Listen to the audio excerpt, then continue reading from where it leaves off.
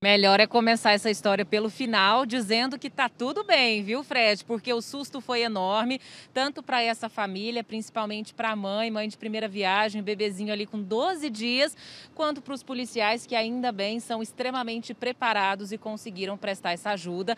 Os policiais que estavam ali numa pracinha que tem no setor Novo Horizonte é o sargento Marques que está ali no cantinho e aqui também o soldado Alves, mas quem vai conversar com a gente pelo menos nesse primeiro momento é o capitão Alexandre Torres Capitão, os policiais parados ali, essa mãe chega desesperada. O que, que ela dizia? Boa noite. Boa noite, Natália. Boa noite, Fred. Boa, Boa noite, noite, a capitão. todos os telespectadores. Foi uma ocorrência muito positiva do 7 Batalhão, em que os policiais estavam em ponto de estacionamento. O que, que significa isso? Estavam desembarcados, acompanhando o rádio, em momento em que há grande fluxo de pessoas naquela região. Eles acompanham toda a movimentação de pessoas e, neste momento, eles foram abordados por uma mulher, uma mulher de 27 anos, com uma criança, um recém-nascido de apenas 12 dias, o Davi, que estava sem os sinais vitais. Essa mulher chegou lá de carro, sinal de que ela já estava procurando ajuda. Ela não mora ali. Não, ela não mora na região, ela mora no Jardim América, estava em trânsito, né? E como o recém-nascido engasgou no meio do trânsito, ela não viu outra alternativa a não ser recorrer aos policiais que estavam nesse TPE, né? E auxiliaram da melhor forma possível. Ela veio na contramão como um intuito assim de mãe, né? Em desespero, desembarcou do carro dela, desceu e entregou para os policiais. Soldado Alves, que já não é a primeira vez que se dá com essa situação, ele já desengasgou outra criança no residencial Itaipu, fez a massagem cardíaca. É nesse primeiro momento a criança não voltou e ele realizou a sucção, a retirada do leite materno que estava na criança. A criança retornou momentaneamente a consciência e os sinais vitais. Foi nesse momento que eles correram para o cais Novo Horizonte. Lá essa criança foi atendida por uma médica, conseguiu ali restabelecer e, claro, foi para um hospital para receber um melhor atendimento. Sim, durante o trajeto, a criança apresentou um novo engasgamento e perdendo novamente os sinais vitais. Foi feita uma nova massagem e um novo desengasgamento por- pelo soldado Alves.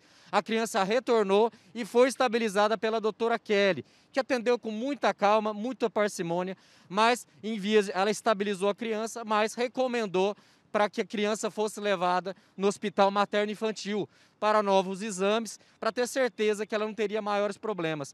A equipe deslocou até lá com a criança e, graças a Deus, esse, esse ato heróico dos policiais aí conseguiu restabelecer a vida do nosso amigo Davi. Olha, Davi é o nome do bebê que tem 12 dias, é recém-nascido ainda, considerado recém-nascido. Se a gente colocar as imagens em tela cheia, o pessoal de casa vai ver que quem faz aí essa taponagem, que é o nome certo, né? Que dá aqueles tapinhas na nas costas do bebê, é o soldado Alves. Deixa eu trocar uma ideia com ele aqui então, porque ele vai saber me falar dessa emoção. Você estava me dizendo que em menos de 10 meses é o segundo caso, é isso? É questão de ser abençoado para abençoar outras pessoas, Com né? certeza. A missão da Polícia Militar é servir e proteger.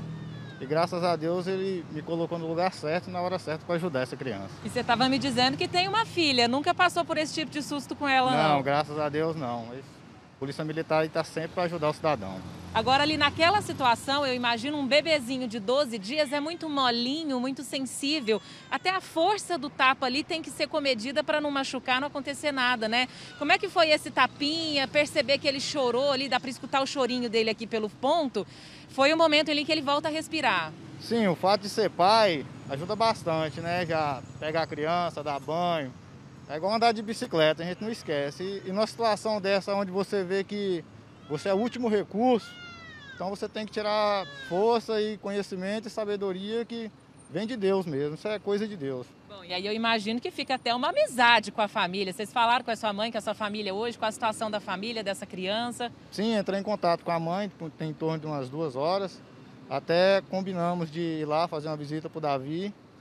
E vamos lá fazer um almoço, uma confraternização. Está até convidada. Chama nós. Já chamou a gente, Fred. Vamos lá para o almoço. Obrigada, pessoal. Parabéns pelo trabalho. Excelente esse trabalho mesmo. Né? A gente sabe que os policiais militares, Fred, eles recebem um treinamento, às vezes em bonecos, às vezes em adultos. Tratar ali de recém-nascido realmente exige muito cuidado, como o soldado disse. O fato dele ser pai, então ele já sabia como é que segura o peso de um bebê, que o bebê é molinho mesmo, né? Que requer todo o cuidado. Ajudou demais excelente esse trabalho, né?